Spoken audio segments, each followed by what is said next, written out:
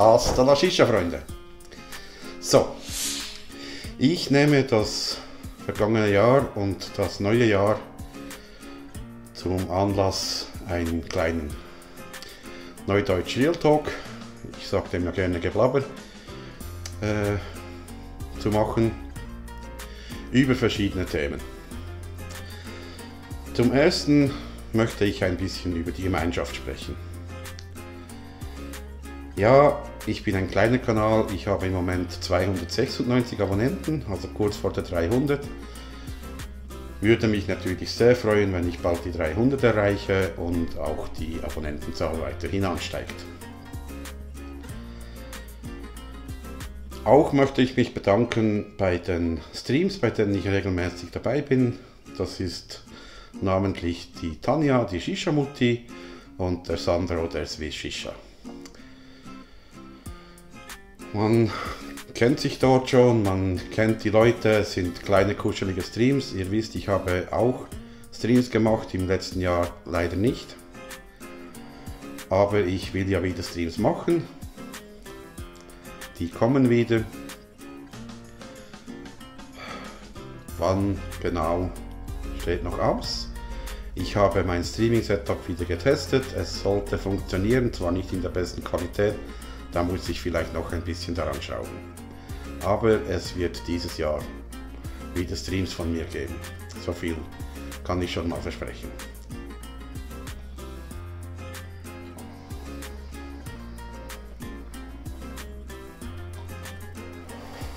Ja, über die Gemeinschaft.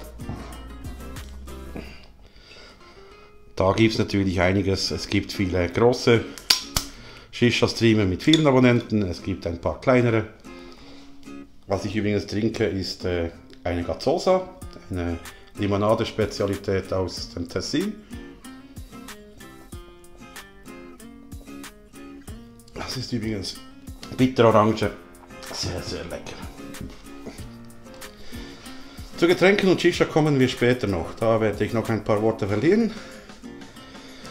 Aber zuerst möchte ich über Rauch und Geschmack sprechen.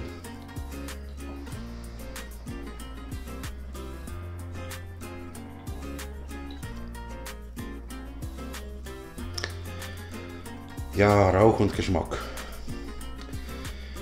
Viele junge Shisha-Raucher und neue Shisha-Raucher, denen ist es wichtig, dass möglichst viel Rauch kommt. Mir ist es wichtig, dass der Geschmack stimmt. Ob ich jetzt möglichst viel Rauch habe, ist mir nicht ganz so wichtig. Jetzt hier mit, der, mit dem Setup ist doch einiges an Rauch vorhanden.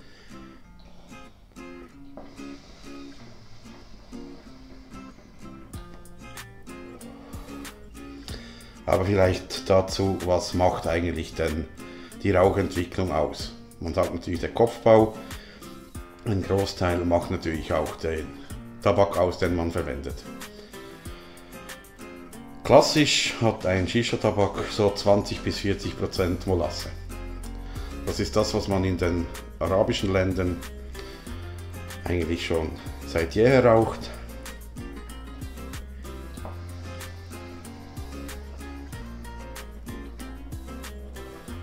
Heute ist es in der Schweiz nach Gesetz Maximum 60 Prozent.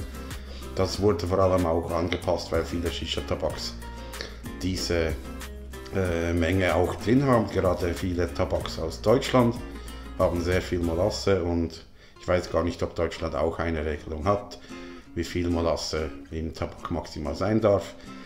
Aber es ist natürlich klar, der, ein Hauptbestandteil, warum viel Rauch entwickelt, ist natürlich, wenn viel Molasse da ist. Denn es ist weniger Tabak, der ja verschwellt, als die Molasse, die verdampft.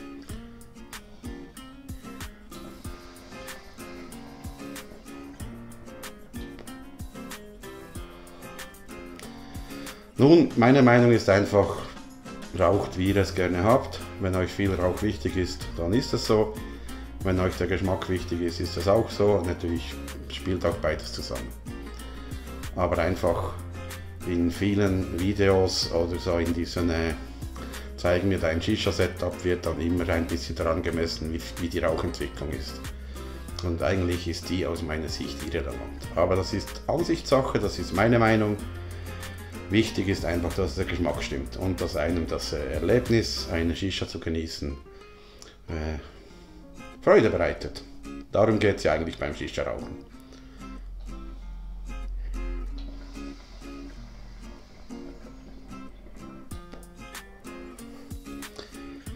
Ja, kommen wir vielleicht kurz zu meinem Setup. Hier heute habe ich die Stimulation Pro X Mini, übrigens mit dem Cooling Diffuser drin.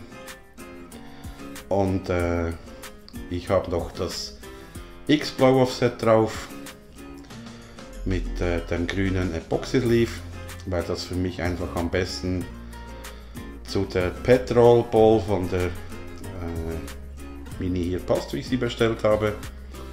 Und ich habe einen Zomo ein Kong Clay in der Zomo Edition in, in Green, also in Grün äh, genommen, einfach um das ganze Setup stimmig zu halten. Und ich habe eine Amy Smokebox oder eine No-Name Smokebox oben drauf. Und wie ihr seht, funktioniert das wunderbar. Angeraucht habe ich mit drei Kohlen, jetzt sind zwei Kohlen drin.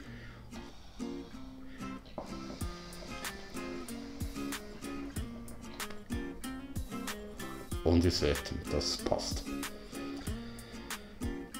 Wie ihr gerade merkt, in meinem Setup habe ich wieder einen Mehrlochkopf und das ist auch so dieses ganze Funnel-Hype, vor allem in den, letzten, in den letzten paar Jahren, ist für mich einfach nicht nachvollziehbar. Natürlich, wer gerne mit Funnel raucht, der soll mit Funnel rauchen, wer gerne mit Mehrlochkopf raucht, soll mit Mehrlochkopf rauchen. Ich rauche ja schon viele Jahre und ich bin gerne beim Mehrlochkopf geblieben. Ich habe Funnels ausprobiert, ich rauche auch ab und zu Funnels. Äh, es wird auch in nächster Zeit noch ein Video kommen über die Olla Balls, die in den Mystery-Paketen waren. Äh, das ist tatsächlich ein Funnel, der mir doch recht gut gefällt. Ich werde deshalb trotzdem nicht zum Funnel rauchen. Kann ich schon vorab sagen. Aber ja, warum nicht ab und zu im Pfann rauchen? Kann auch Spaß machen. Wenn natürlich mit Paste raucht, da ist natürlich der Pfann prädestiniert. Aber ja.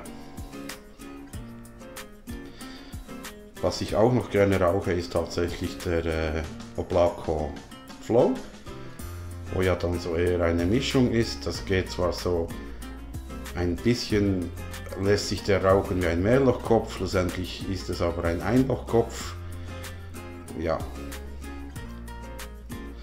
werde ich vielleicht auch noch ein Video dazu machen. Es stehen so viele Videos bei mir aus, da kommt noch einiges. Auch Pfeifen, auch die Simulation Pro X Mini will ich gerne noch ein äh, Video dazu machen, wo ich sie genauer vorstelle. Ich habe da schon ein paar Kritikpunkte, lasst euch überraschen.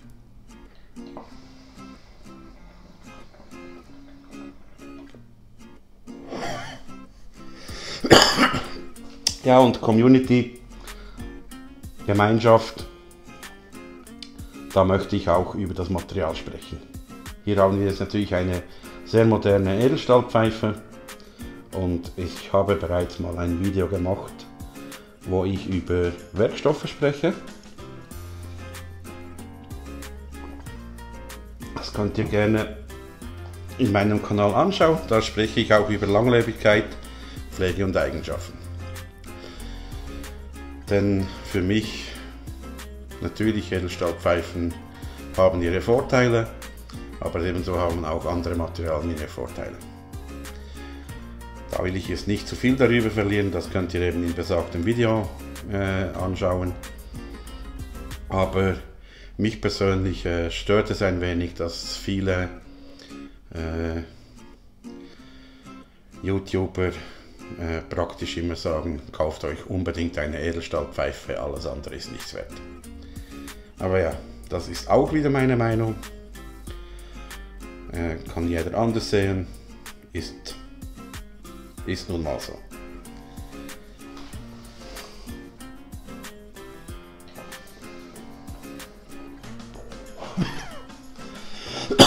Was mich tatsächlich ein bisschen mehr stört, ist, wie teilweise damit umgegangen wird, wie viel Pfeifen raucht man am Tag. Ich rauche eigentlich in der Regel so eine Pfeife am Tag. Manchmal sind es sogar weniger, am Wochenende sind es vielleicht auch mal zwei oder wenn ich Urlaub habe, aber viel mehr sind es nicht. Viele denken dann immer, ja, man muss doch so viele Pfeifen wie möglich rauchen. Das, ja. Aber ich kann gar nicht verstehen, wie man vier, fünf, sechs Köpfe am Tag raucht. Klar, man kann das machen, aber es geht doch einiges an Zeit drauf, vor allem wenn man einen, an einem Kopf mindestens 60 Minuten, 90 Minuten oder sogar zwei Stunden raucht. Wenn ich sechs Köpfe rauche, kann ich ja gar nichts anderes mehr machen den ganzen Tag. Klar, ich kann YouTube schauen, ich kann Netflix schauen, was auch immer. Aber äh, das ist eigentlich nicht mein Leben.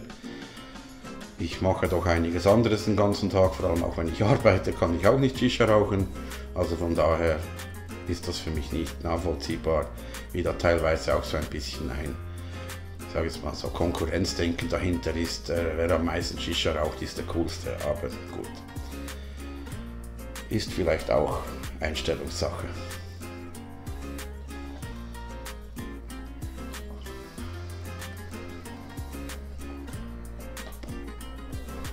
In eine ähnliche Richtung geht für mich das Rauchen von Darkblend. Wer gerne Darkblend raucht, gut.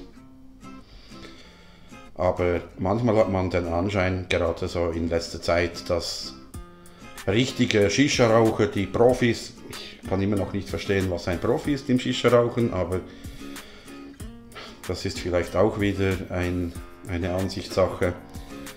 Äh, unbedingt äh, Dark Blend, unbedingt möglichst starken Tabak rauchen müssen. Ja.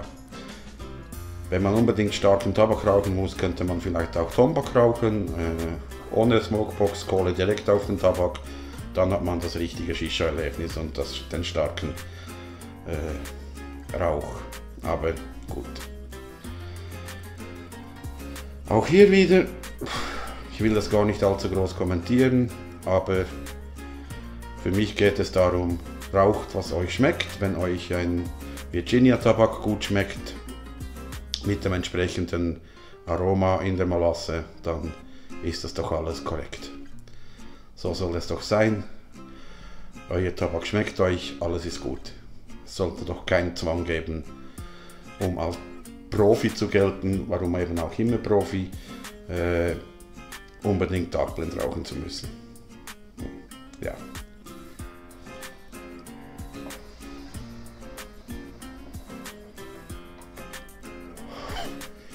Und wenn wir von Tabak sprechen, für mich ist in letzter Zeit in Streams und Vorstellungen, in allgemeinen Shisha-Videos oder immer wieder das Thema, man hört immer von Tabakmischung.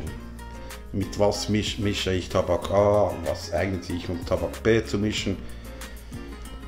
Dazu muss ich sagen, ich rauche immer noch am liebsten einfach einen Tabak im Kopf. Und zwar einfach den, der mir gerade gut schmeckt. Ich mache auch ab und zu Mischungen, aber eigentlich sehr, sehr selten. Wenn einem das schmeckt, ist ja alles in Ordnung.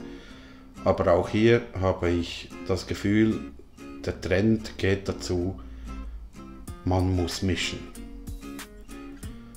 Und da frage ich mich teilweise schon auch warum, weil gerade Tabaks, die heute im Angebot sind, sind meistens schon komplexe Mischungen. Früher war das ja anders, da hatte man eher einfach äh, eine Frucht, vielleicht noch Minze dabei, vielleicht mal zwei Früchte und das war's. Da hat man natürlich gerne auch mal zwei, drei Tabaks zusammengemischt, um etwas anderes zu erleben. Aber mit dem Angebot, finde ich, habe ich eigentlich genügend Auswahl bereits. Natürlich spricht nichts dagegen zu mischen, aber dieser Zwang, der teilweise fast ein bisschen rüberkommt, das kann ich nicht verstehen.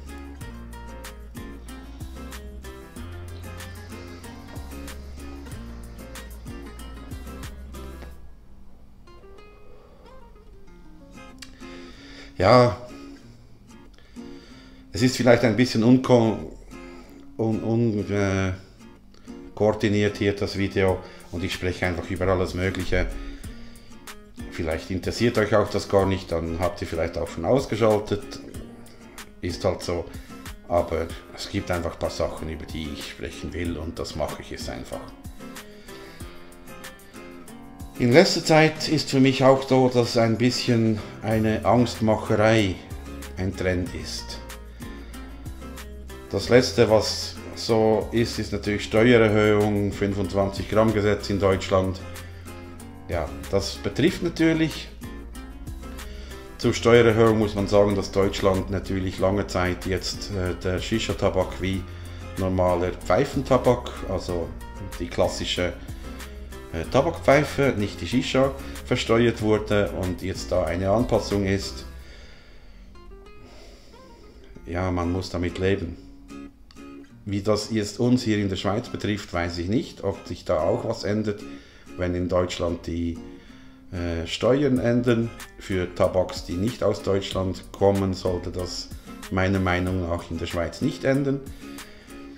Wie das natürlich für deutsche Tabaks sich auswirkt, werden wir sehen.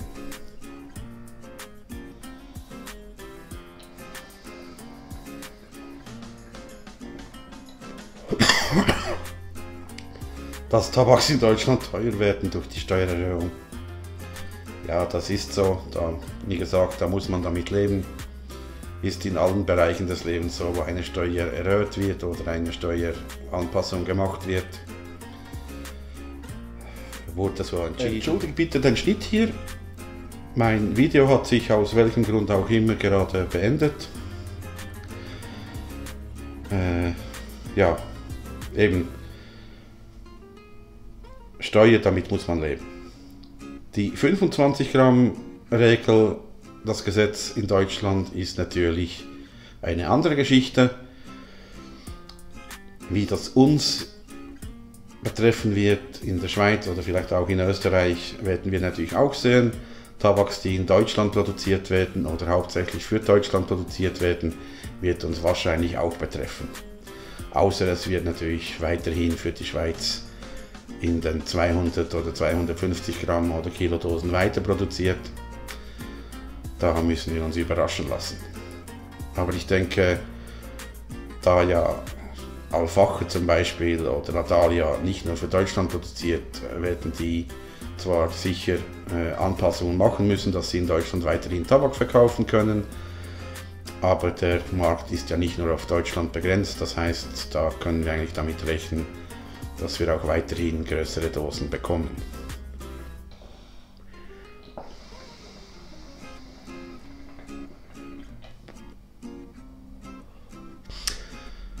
Was ich hier dazu noch sagen möchte ist, in vielen Videos oder Streams hört man dann immer wegen dem Müll. Ja, natürlich.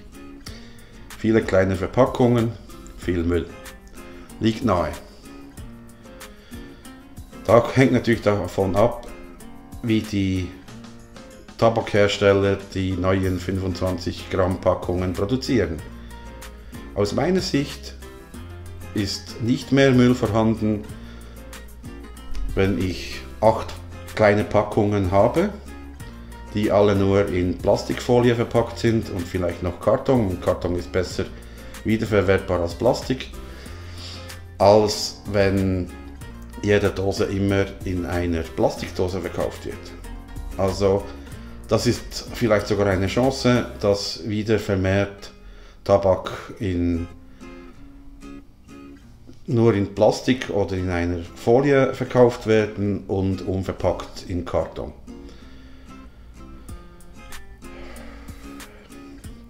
Ja. Also natürlich gibt es trotzdem mehr Verpackungsmüll. Es ist natürlich aufwendiger.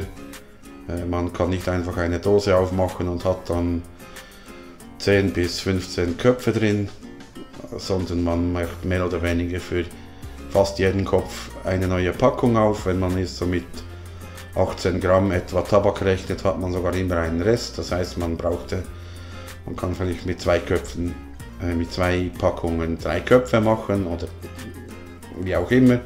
Vielleicht gibt es ja auch 20 Gramm Packungen, das wird, wird, wird man ja sehen. Aber ja, wie gesagt, wenn das klar genug gelöst wird, äh, sehe ich da nicht, dass so viel mehr Verpackungsmüll produziert wird, weil es eine Chance ist, umzusteigen.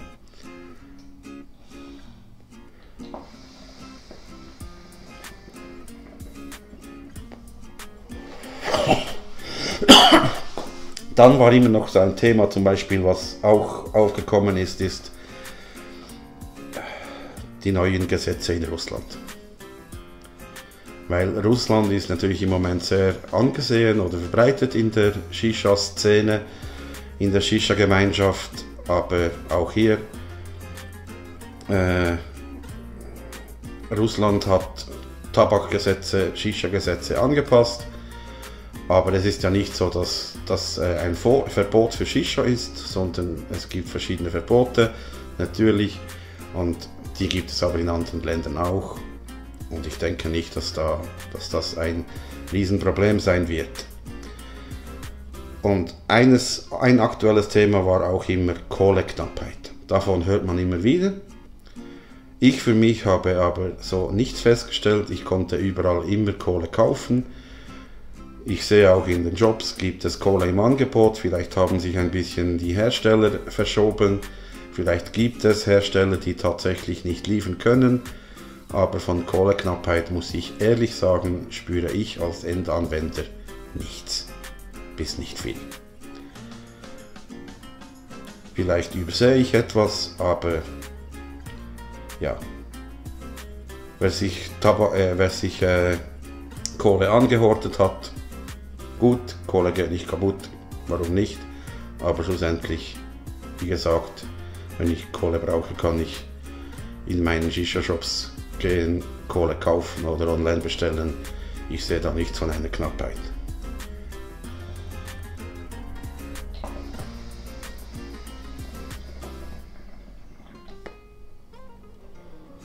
Ein weiterer Punkt in Streams und Videos ist die Sprache. Ja, die Sprache ist natürlich einfach an YouTube angepasst, aber ich kann das nicht nachvollziehen. Es werden so viele englische Begriffe verwendet, wo man genauso gut deutsche Begriffe verwenden kann. Literally, visually, es gibt noch viel mehr. Warum sagt man nicht buchstäblich? Warum sagt man nicht offensichtlich? Warum sagt man nicht äh, was auch immer? Ja, ein schönes Beispiel ist dieses Speaking of. Das wirkt für mich so fehl am Platz. Vor allem, wenn dann zum Beispiel solche Sachen kommt wie Speaking of Unterschiede. Das hört sich einfach nur falsch an. Aber wie gesagt, ist meine Meinung. Vielleicht gefällt euch diese moderne Art zu sprechen, aber naja, ich äh, versuche auch in meinem Alltag allgemein nicht so viele Trendwörter in Englisch unterzubringen. Vielleicht wisst ihr es, ich arbeite in der Informatik, da sind auch viele englische Wörter immer im Begriff, aber auch dort benutze ich oft deutsche Wörter womöglich. Da sind ein paar Menschen in meinem Umfeld, in meinem Arbeitsumfeld auch manchmal etwas verwirrt, wenn ich dann von Benutzer spreche statt von User oder von Speicher statt von Memory oder von Rechner statt Computer oder von Bildschirm statt von Monitor. Wobei ja Monitor eigentlich auch ein falscher Freund ist, weil eigentlich sollte das ja dann Screen heißen. Aber gut. Vielleicht bin ich auch einfach zu alt. Möglich.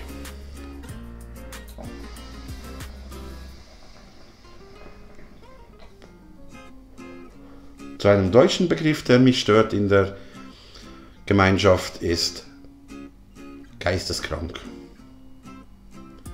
Geisteskrank wird oft verwendet für besonders toll, besonders viel, besonders. Ja, das ist geisteskrank. Das ist für mich sowas von fehl am Platz. Ich verstehe das nicht, aber es ist so, es wird so viel gesprochen.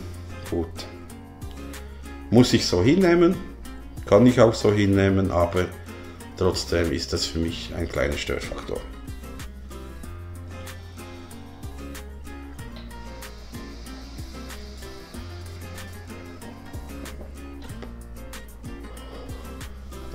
Ich muss kurz auf meinen Spickzettel schauen.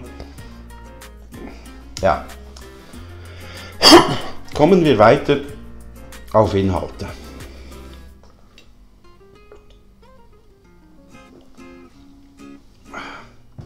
Natürlich, die Inhalte, die ich jetzt hier anspreche, die werden sehr oft angeklickt, das wird sehr oft geschaut. Ihr seht aber, dass ich in meinem Kanal diese eigentlich nicht mache. Das eine ist Tabak-Reviews.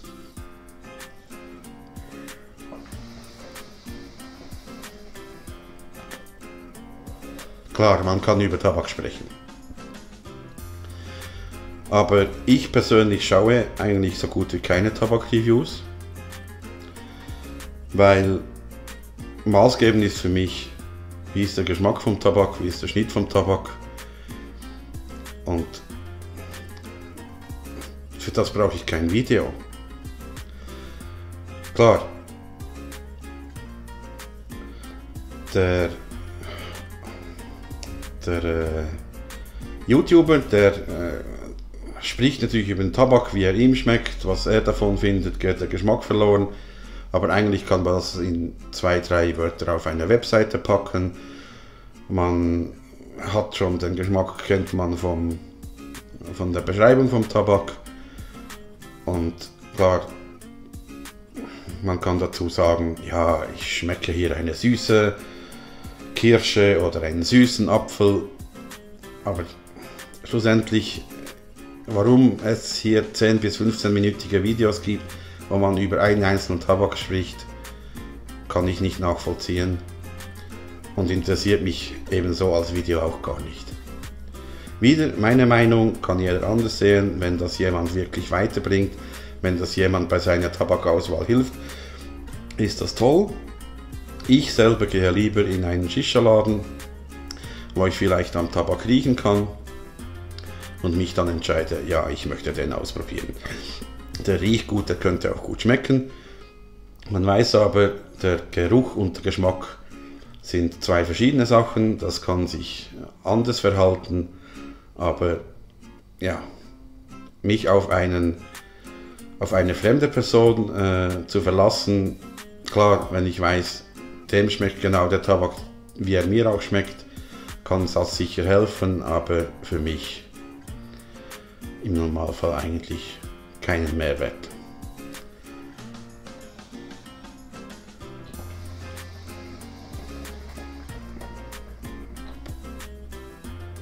Und da gibt es dann auch diese Kategorie Top-Tabake. Entweder die Top 5 Sommertabake 2021, die Top 5 Wintertabake 2021 klar, man bekommt mit, was eine andere Person gerne für Tabaks raucht, was dem seine Lieblingstabak sind, seine Lieblingsgeschmäcker, aber ich sehe da den Mehrwert einfach nicht. Darum werdet ihr bei mir auch nie äh, solche Videos sehen. Auch hier gilt wieder, wenn das weiterhilft, gut, aber für mich sind diese Inhalte nicht nachvollziehbar. Und wenn man aber auf YouTube schaut, dann ist das ein Großteil äh, der Inhalte. Und das verwundert mich ein wenig, aber ist einfach meine, meine Sichtweise.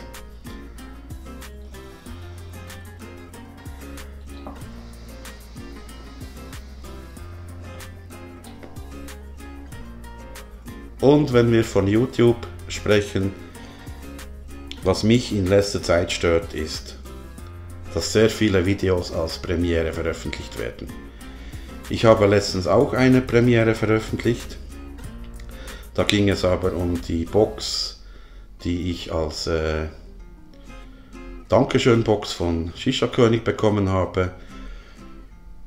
Aber im Großen und Ganzen verstehe ich nicht, warum man jedes nichtssagende Video als Premiere veröffentlicht. Klar, ich kann es ein bisschen nachvollziehen. Der Abonnent sieht, oh, da kommt dann ein Video, aber für mich ist das eher nervig. Denn wenn ich sehe, da ist ein Video, möchte ich es schauen und nicht auf den nächsten Tag warten.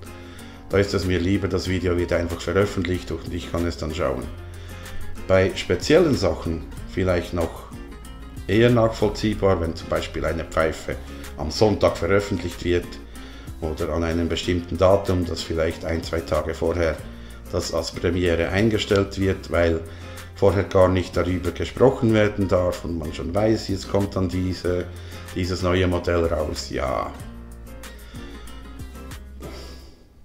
Aber für mich ist diese Premiere eher etwas, was eigentlich der Hersteller äh, machen sollte und nicht der, der äh, YouTuber, der ein, ein Video über ein neues Produkt macht.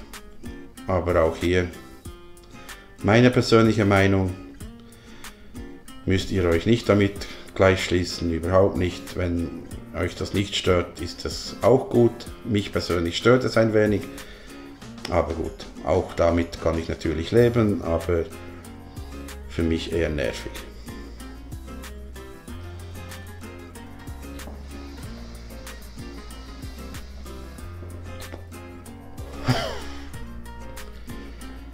Dann Livestreams.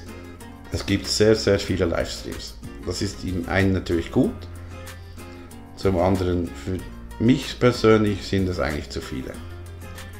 Wobei ich fragen muss, ich schaue die meisten eh nicht. Bei den Livestreams, bei denen ich regelmäßig dabei bin, sind, wie ich schon am Anfang gesagt habe, der Livestream von Shisha Mutti und der Livestream von Swiss Shisha. Und auch noch aus einem weiteren Grund, weil das kleine Streams sind, wo man in einem kleinen Rahmen abhält, man dann auch die Mitglieder kennt. Es ist ein bisschen familiärer, man spricht mehr miteinander und es geht nicht eigentlich nur darum, dass sich der Anbieter, der YouTuber präsentiert. Aber ja, auch hier, wenn natürlich gern bei den großen YouTubern im Stream ist und große YouTuber finde ich natürlich auch schon wieder einen komischen Ausdruck, aber ja, groß natürlich einfach, weil die viele Mitglieder haben, da sind dann auch viele dabei und für mich werden, wirken diese Streams dann auch oft sehr unübersichtlich und wie gesagt, es geht dann eher um den YouTuber als um ein gemeinsames Erlebnis. Aber auch hier meine persönliche Meinung, meine Erfahrung, wer gerne in diesen Riesenstreams ist und das gefällt, dann ist das gut. Aber muss jeder für, selber für sich wissen, ist auch hier wieder klar, wenn ich eine Pfeife rauche, kann ich dabei einem Stream folgen. Aber brauche nicht jeden Abend einen Shisha-Stream. Ich will ja auch noch andere Sachen machen.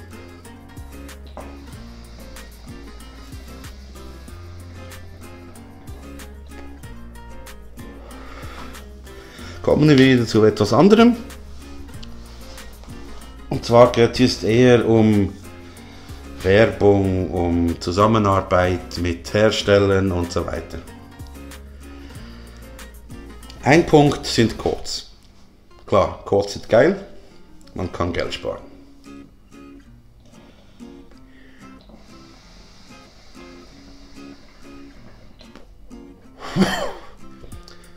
Aber Shops und Hersteller, die Codes in Kooperation mit YouTubern äh, anbieten, heißt das nicht, dass die eigentlich sonst zu teuer sind. Und da kommt ja noch, wenn es 10% Codes gibt und der YouTuber, der den Code hat, auch noch etwas davon abbekommt, könnte ja der Anbieter bereits einfach das Produkt günstiger verkaufen oder der Shop. Klar, ich verstehe, das geht um Werbung, wenn tausende Leute einen Stream schauen oder einem YouTuber folgen und dann diesen Code nutzen, weil sie dadurch auf den Shop aufmerksam geworden sind, ist das natürlich Werbung für den Shop. Ja. Schwieriges Thema. Für mich ist einfach auch etwas, ich würde Codes nur nutzen, wenn ich tatsächlich auch die Sympathie von dem Anbieter habe, beziehungsweise von dem YouTuber. Aber das ist vielleicht wieder meine verkorkste Meinung. Dann ist es natürlich eher so, in der Schweiz ist das Angebot gar nicht so groß. Wir haben eigentlich nur einen großen Shisha-Shop in der Schweiz, Online-Shop. Und äh, jetzt haben übrigens gerade zwei Shops zusammen äh, migriert, sich verheiratet. Und somit äh, ist sowieso alles nochmal anders hier. Wer einen Code von Shisha König benutzen will, hat somit auch Shisha King mit drin neu. Die Preise werden dort natürlich auch angepasst, aber schlussendlich ist das wirklich aus meiner Sicht so. Es wäre schön, wenn, wenn äh, die Preise direkt angepasst werden und nicht auf Werbebasis äh, gesenkt werden. Und natürlich, es gibt YouTuber, die auch ein bisschen von dem von den Codes leben oder sich damit finanzieren. Das ist natürlich für die toll, aber für mich als Endkunde bringt das eigentlich nichts. Außer dass ich natürlich den Code habe und günstiger einkaufen kann.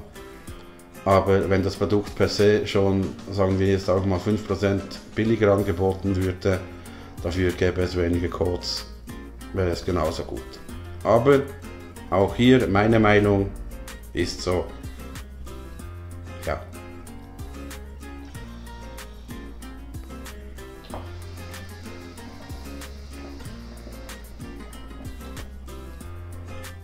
Wie ihr seht, ich bin nicht unbedingt ein Freund von Werbung und deshalb kommen wir zu Instagram. Instagram ist für mich eine reine Werbeschleuder. Ich habe einen Instagram-Account, wo ich auch mit anderen kommuniziere. Ich mache auch auf Instagram ab und zu mal eine Story, wo ich etwas Neues vorstelle, beziehungsweise vorstelle, dass ich ein neues YouTube-Video habe. Ich mache keine Inhalte selbst in Instagram, ich mag Instagram eigentlich gar nicht. Und da kommen wir auch gleich zu Gewinnspielen. Instagram ist für mich voll von Gewinnspielen. Ich sehe da die ganze Zeit irgendwelche Gewinnspiele und Verlosungen.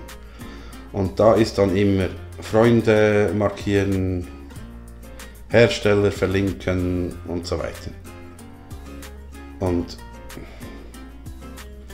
da geht es natürlich auch wieder einfach nur darum, die, die, die Followerzahlen zu erhöhen, die Abonnenten zu erhöhen.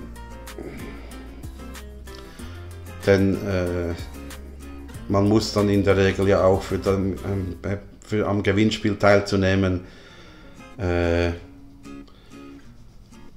dem Hersteller folgen und so weiter. Ja, ich folge sehr wenigen Herstellern in, in Instagram, weil mich das alles gar nicht in, in, interessiert. Ich folge ein paar wenigen äh, Shops, mit denen ich auch denen ich auch selbst einkaufe, weil ich da auch gerne wissen will, wenn es was Neues gibt. Ist vielleicht noch so ein Paradoxum. Ja, auf einer Seite, auf die andere Seite gucke ich auch gerne auf der Webseite. Nur manchmal wird die Webseite gar nicht so gut gepflegt wie Instagram.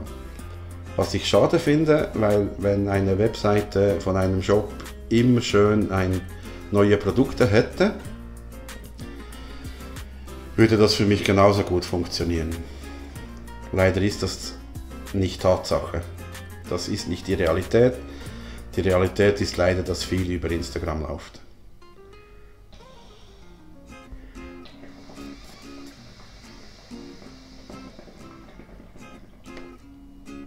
So, und bald bin ich durch mit dem heutigen Video.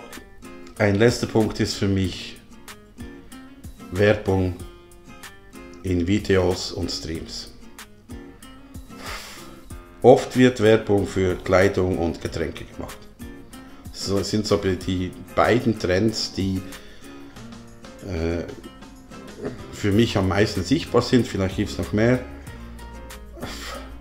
Also ich muss sagen, klar, wenn jetzt äh, ich glaube, Schmitti hat jetzt eine eigene äh, Marke von Hoodies rausgebracht. Hoodies sind Kapuzenpullis, kann man übrigens auch so nennen. Oder äh,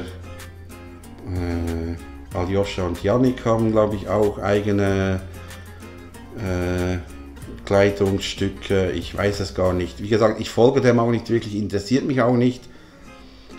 Aber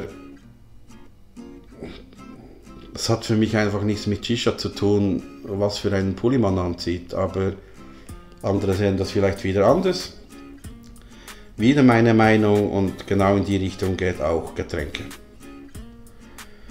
Und hier sind natürlich gerade Eistees.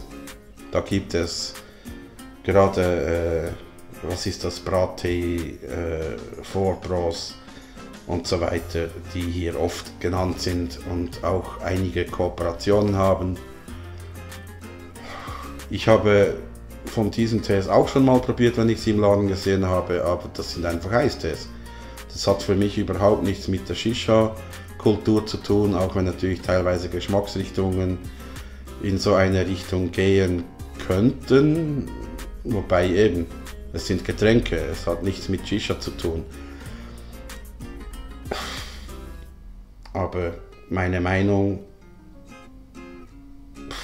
ja.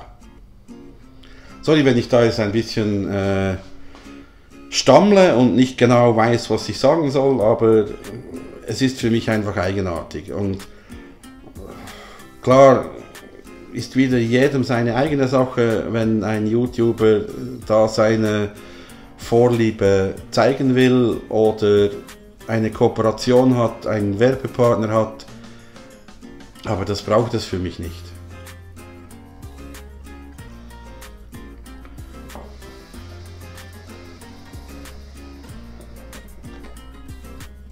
Ich trinke zu meiner Shisha, wenn ich eine Shisha rauche, das, was ich gerade Lust drauf habe.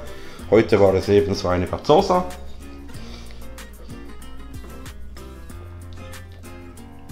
Ist keine Werbung, ich verdiene daran nichts. Ich mag das Getränk einfach. Wenn es jetzt ein Eistee wäre, wäre es ein Eistee, wäre auch keine Werbung. Ich habe da keine Kooperationen, gar nichts.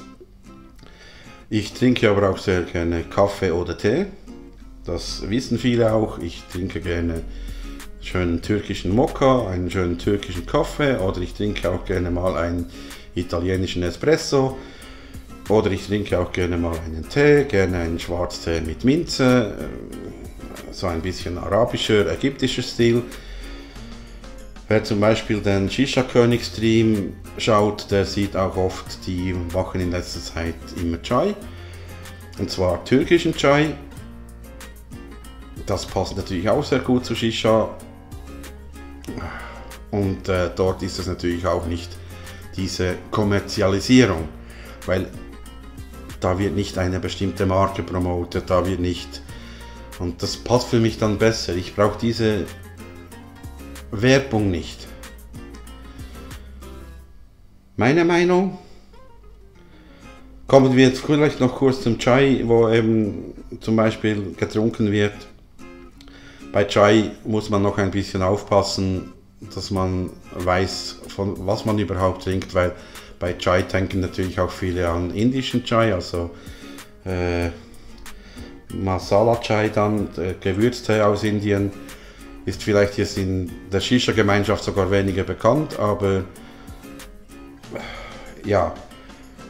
Und hier noch mein kleiner Bildungsauftrag am Schluss, äh, warum Chai Chai genannt wird. Und bei uns ist das Tee. Das hängt zusammen, wie Tee nach Europa gekommen ist. Tee nach Europa ist via die Niederlande gekommen über den Seeweg. Über den Seeweg wurde Tee natürlich vom Süden von China. China ist eigentlich der Ursprungsort von Schwarztee. Und im Süden Chinas wird das äh, Schriftzeichen für Tee tatsächlich als Tee ausgesprochen. Und in anderen Regionen, vor allem im Norden, äh, wird Tee als Cha oder als Chai ausgesprochen. Und die Länder, die Chai, also in denen Tee Chai heißt, also sagen wir eben die arabischen, die, die äh, osmanischen äh, Länder oder Russland zum Beispiel auch, da ist Tee über die Seidenstraße in die Länder gekommen. Und über die Seidenstraße ist der Tee eher aus dem Norden gekommen und somit ist auch der Name äh, dazu übernommen worden und auf dem Seeweg dann eben aus dem Süden als Tee. Die einzige Ausnahme ist hier Portugal. In Portugal heißt Tee tatsächlich auch wieder Chai. Warum das so ist, weiß ich allerdings nicht, aber es ist noch interessant.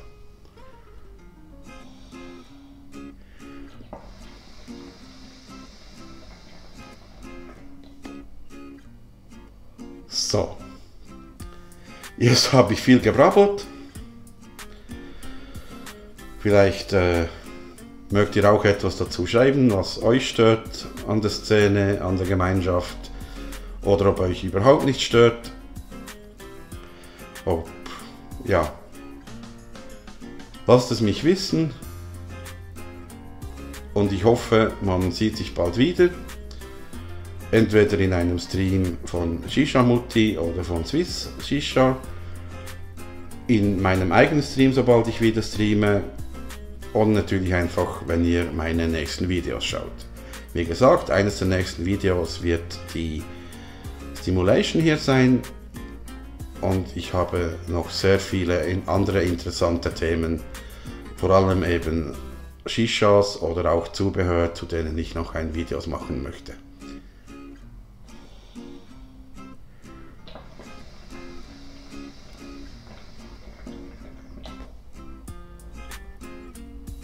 In diesem Sinne, startet gut ins neue Jahr, genießt eure Shishas, kauft euch den Tabak, den ihr gerne mögt. Für die, die Angst wegen der Steuererhöhung haben, kauft halt mal eine Dose mehr oder zwei, aber hamstert nicht, es bringt eigentlich nichts.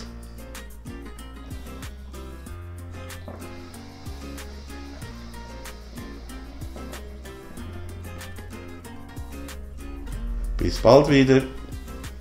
Ich wünsche euch ein tolles neues Jahr.